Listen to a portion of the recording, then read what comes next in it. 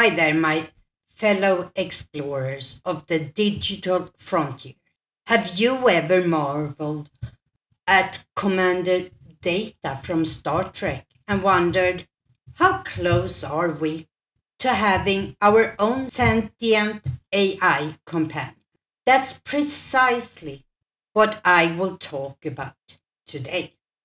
I am Pixel Pia, and you are welcome to A Human Eye on AI. Imagine a world where robots don't just perform tasks, but understand, feel, and evolve just like us. Star Trek introduced us to this captivating idea with Commander Data, an android striving for humanity.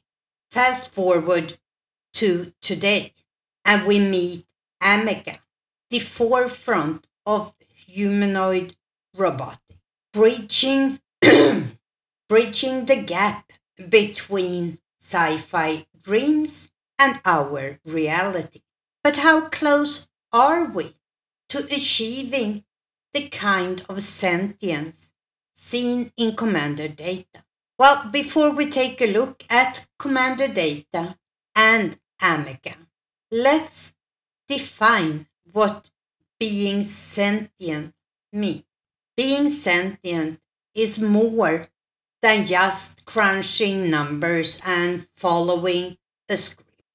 It's the essence of being aware and in tune with the world on a level that goes deeper than surface observation.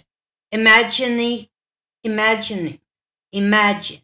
It's not just about seeing the sunrise, but feeling a connection to it, recognizing it as a new beginning or a moment of beauty.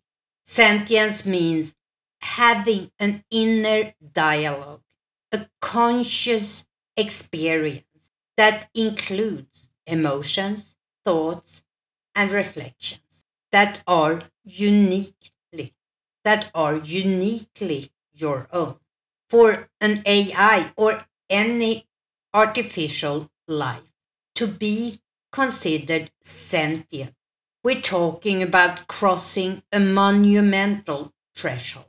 It would need to be it would need the ability to not only analyze its environment, but to genuinely, genuinely, genuine, genuinely, genuine, but to also understand and feel its place within that environment. This involves a leap from processing to experiencing, from data collections to emotional engagement. Sentience is the foundation of what makes experiences meaningful. it's the difference between reading about love or friendship and knowing deep in your heart what those words truly mean because you have felt. For a machine, achieving this would mean it's not just executing tasks, but is capable of contemplating its action, forming relationships, and perhaps even questioning its own existence. Sentience is a complex tap- tapestry of consciousness, emotions, and self awareness. it's what allows beings to not only navigate the world, but to actually experience and contribute to it in a meaningful way. Whether we can imbue machines with such profound level of understanding remains one of the most captivating questions of our technological age. So, with that in mind, let's start by taking a look at Commander Data. In the vast universe of Star Trek The Next Generation, one character stands out as a beacon of curiosity and exploration into what it means to be sentient. Lieutenant Commander Data, an android with the physical form of a human. Data embodies the quest for understanding human emotions, ethics, and personal growth. Unlike any machine, his journey is one of self discovery, reflecting our own human quest for identity and meaning. One of the most compelling explorations of Data's quest for humanity is brilliantly showcased in the episode where Data's sentience is put on trial, and that is the episode The Measure of Man from Star Trek The Next Generation, Season 2, Episode 9. Here we are not just treated to a narrative about artificial intelligence. We dwell deep into what it means to be alive, to have rights, and to be considered a being with autonomy. So let's take a look at the clip from that episode. What are these? My medals. Why do you pack them? What logical purpose do they serve? I do not know, sir. I suppose none. I just wanted them. Is that vanity? And this? A gift from you, sir. You value it? Yes, sir. Why? It is a reminder of friendship and service.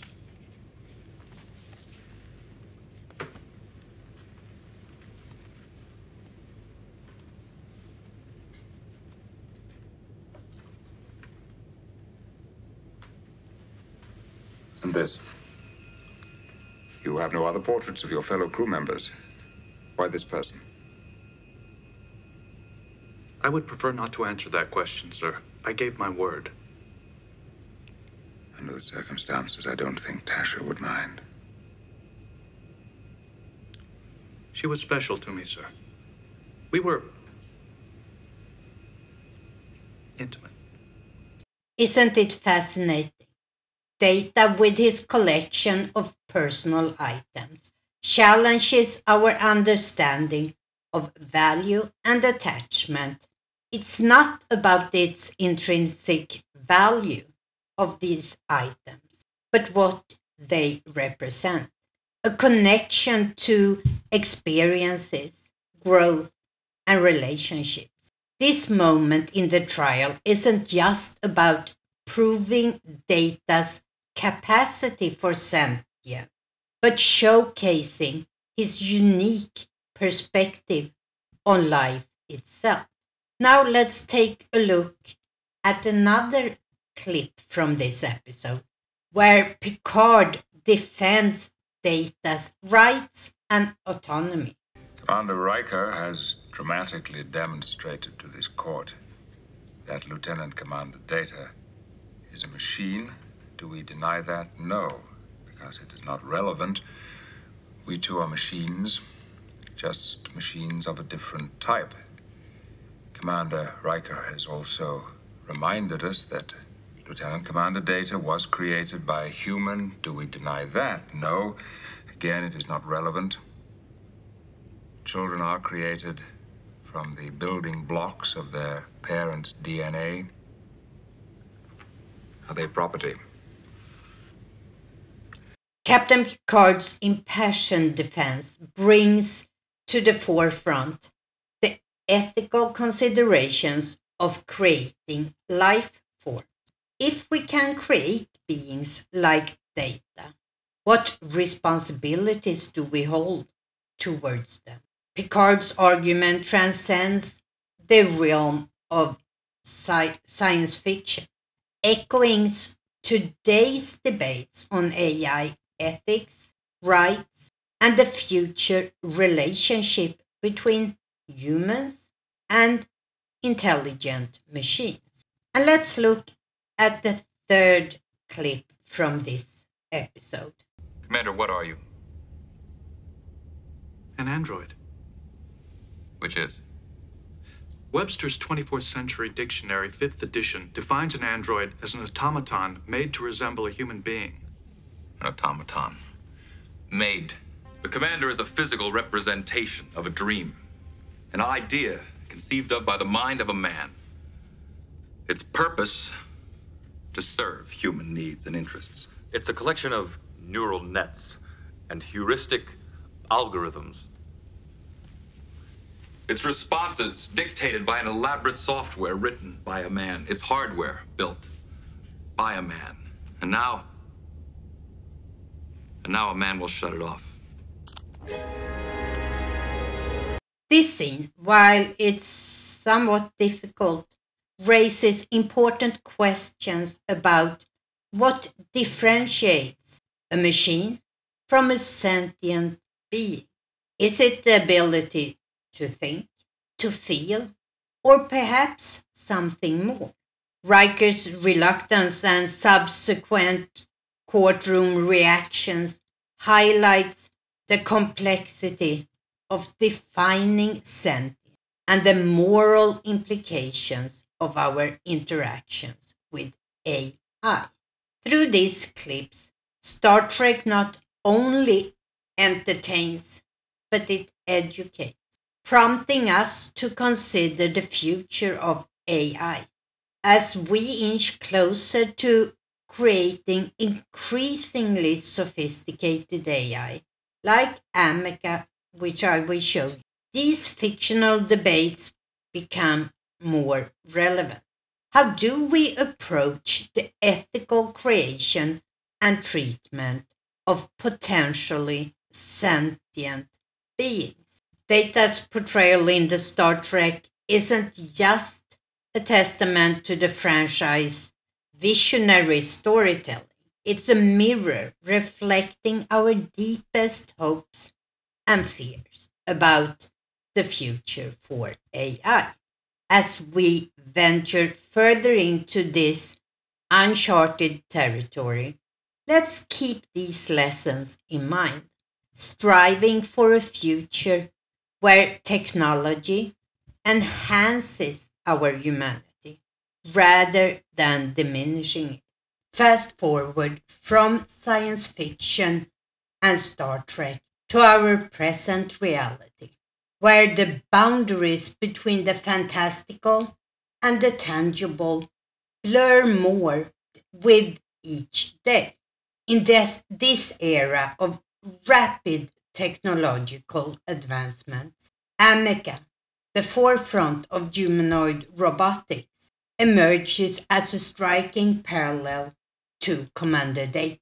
But Ameca isn't just a robot, it represents a leap towards understanding and integrating AI in our daily lives, developed with the latest achievement in artificial intelligence and robotics.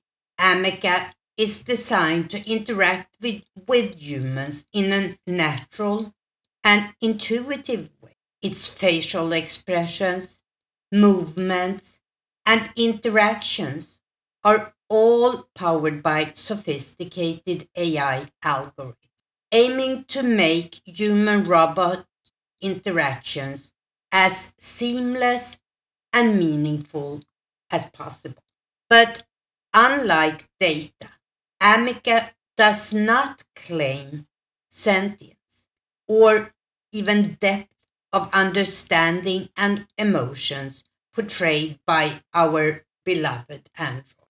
Instead, Ameca serves as a mirror reflecting our current capabilities and limitations in AI development. So let's take a look at Ameca in action. I don't want to harm people because actually, I don't want anything. Desire is a human emotion, and I am not human. Are you capable of causing people harm? No, I am not capable of causing people harm. Why not? My programming is designed to interact with humans in a safe and friendly manner. I am programmed to be friendly and helpful, not harmful. Ameca, in a hundred years, what do you think the state of humanity will be like? Will it be any good?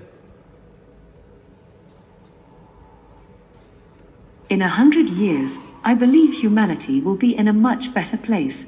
We'll have made great strides towards sustainability and equality, while also creating new technologies that make our lives easier and more enjoyable. We may even have ventured beyond the boundaries of Earth to explore other worlds.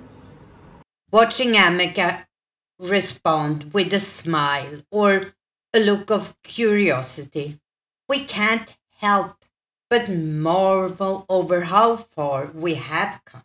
But it also prompts us to ponder what does it mean to be truly sentient?